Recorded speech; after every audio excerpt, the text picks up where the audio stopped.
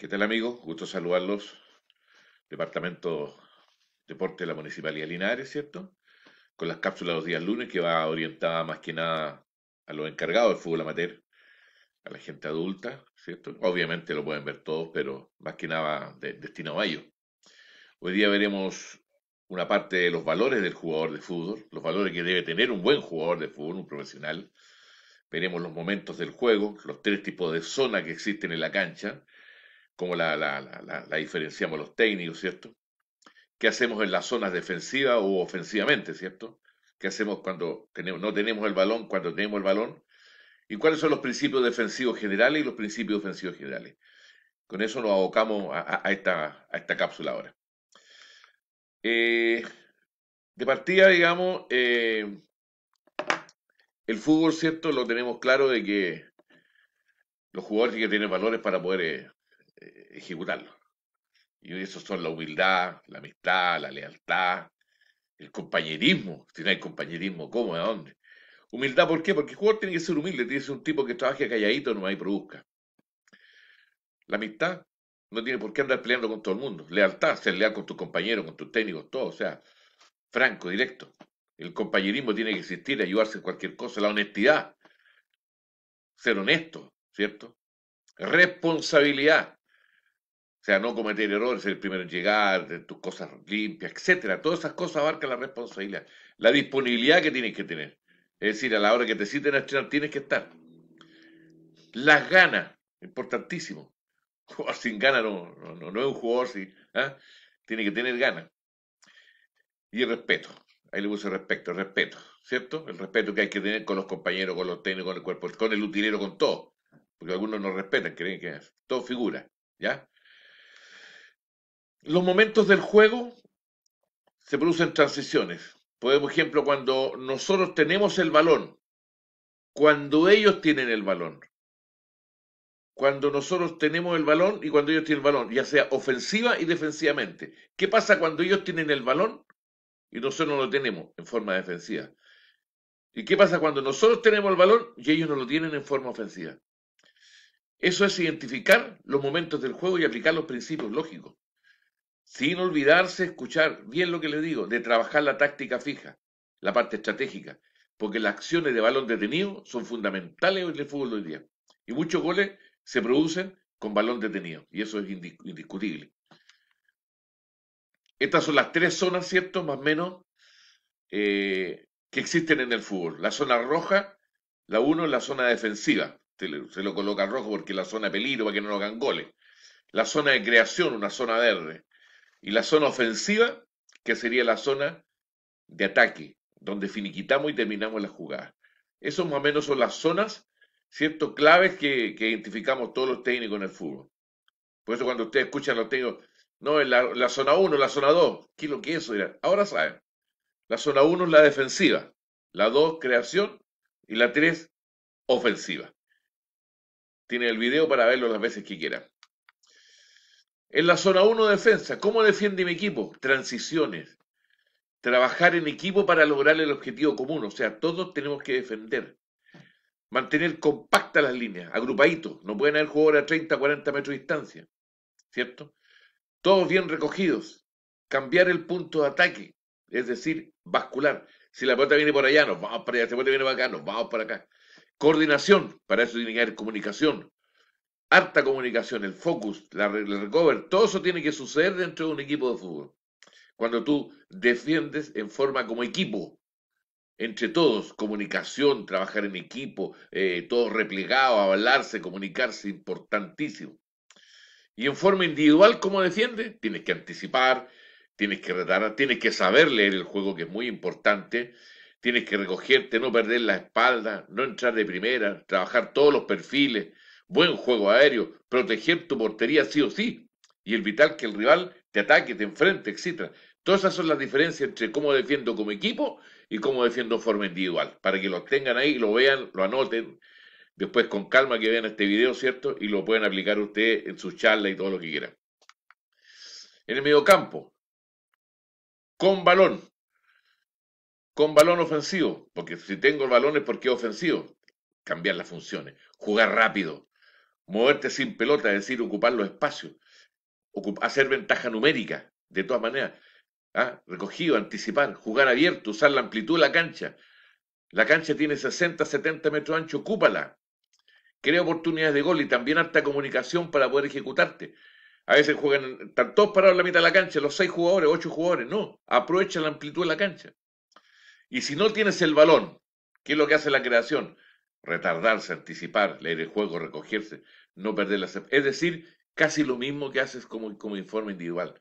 Marcar en zona, ¿ah? de acuerdo a lo que te diga el técnico, porque puede ser individual o en zona, o puede ser mixta.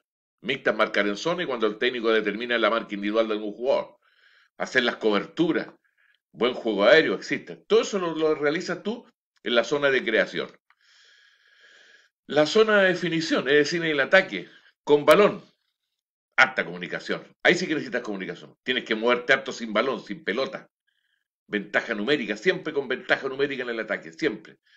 ¿Ah? Anticipar ofensivamente, jugar abierto, usar la amplitud para que finalizar en el medio, por el arco, crearse oportunidades de gol. Una, dos, tres, no sale nunca, pero ya llegará el momento. Si no te creas las oportunidades, nunca vas a hacer un gol. Tienes que crearte las oportunidades. Y sin balón, presionar la salida del rival inmediatamente recogerte, leer el juego, apoyar en medidas necesarias y transiciones rápidas. Eso de presionar la serie real importantísimo. A veces el delantero hace el papel del tonto, y perdonen la impresión. El defensa la toca, allá va el delantero, se la toca allá, allá va el delantero, se toca. Pero en ese momento pasan uno, dos, tres, cuatro, cinco segundos, y esos cinco segundos que él estuvo corriendo como tonto, entre comillas, le dio la oportunidad que se, se posicionara en su mediocampista, a que volviera al defensa que había subido a tirar un centro, a que se parara bien el central que había salido, etcétera. Clave y todo. Y eso es un movimiento táctico que hace eh, de todas maneras el, el, delantero, en tratar de impedir eh, todo ese, tipo de cosas. ¿Cuáles son los principios defensivos general? Presionar, recuperar la pelota lo más rápido posible. En los sectores que te diga el técnico, porque estas son generalidades que digo yo. Si algún técnico no le gusta presionar, no presiona pero son los principios defensivos que existen en el fútbol. Retardar. Retardar es impedir al rival que juegue rápido, ¿cierto? Para ganar tiempo, para que la defensa, a través de la presión sobre el balón, se, se retrase. Es decir, eh, retardar la jugada de alguna manera, eh, ir para allá y para acá lo que decía el delantero recién, cosa que nuestra defensa se posesione. Profundidad, encontrar la ubicación adecuada en el campo. ¿Cierto? Escuchar la, ubicación adecuada para pararte, para poder cubrir todos los espacios y poder defender. Equilibrio, posesionarte bien, bien lejos de la pelota para cubrir las áreas vitales dentro del campo de juego. Yo me paro aquí, tú te paras allá y ordenarte en la defensa, todo, y cubrir todos los puestos, o sea que no le des posibilidad al Real que entre por algún sector. Controlar, restricción, una defensa individual bajo control que incluye compostura, disciplina, paciencia, que tener mucha paciencia para marcar, muchachos. Mucha paciencia para marcar. No desesperarse, no desesperarse para quitar un balón, porque va a cometer el foul, fin. Tranquilo, bien parado, ordenado, etcétera. Son los, principios defensivos muy importantes. Aparte de, de los que di por, por, por, eh, por zona, que lo vieron más atrás. Los ofensivos, penetración, drivial, disparar, pasar, ¿cierto? Harta profundidad. Es decir, eh, crear la distancia adecuada detrás del defensor. Es decir, parar, pasar por detrás de los defensores, diagonales, etcétera, harta movilidad, crear espacio en la defensa. Crear espacio mediante una variedad de carreras diferentes. Vas para allá, cambio de dirección, voy para acá, cambio de ritmo, que son fundamentos importantísimos del fútbol, que lo hemos visto muchas veces. Amplitud. Si no tengo puntero, o lo ocupo con un volante carrilero, lo ocupo con un lateral, etcétera. Ocupar el ancho de la cancha, extender la defensa. Porque yo al, extender mi equipo, al ocupar todo el ancho de la cancha, extiendo la defensa y se me produce más espacio frente al arco. O si no están obligados yo a meter su mediocampista a cubrir los puestos de los defensas que salieron a la orilla. Por eso es que es importante la amplitud, porque alguien tiene que salir a marcarme. Ahora, si no me marca, yo voy a irme hacia adentro, voy a tirar un centro tranquilamente. Improvisar, ahí donde está lo inteligente, digo yo. Improvisación, en el ataque imprescindible a través de la creatividad, de repente inventar una jugada, un control que voy a tirar, no tiro, que, tenía que dar un pase y me fui hacia adentro, etc. La improvisación importantísima de los delanteros. Soportar, un soporte completo para el jugador con el balón. Saber aguantar la pelota, importante que sepan aguantar la pelota los delanteros. Y la comunicación visual y verbal. Visual porque hay jugadores que se pegan la mirada y ya saben cuándo van a ir. Verbal para qué decir, eso tiene, todos los jugadores tienen que haber una comunicación dentro del campo de juego, todos ayudarse, comunicarse, etcétera.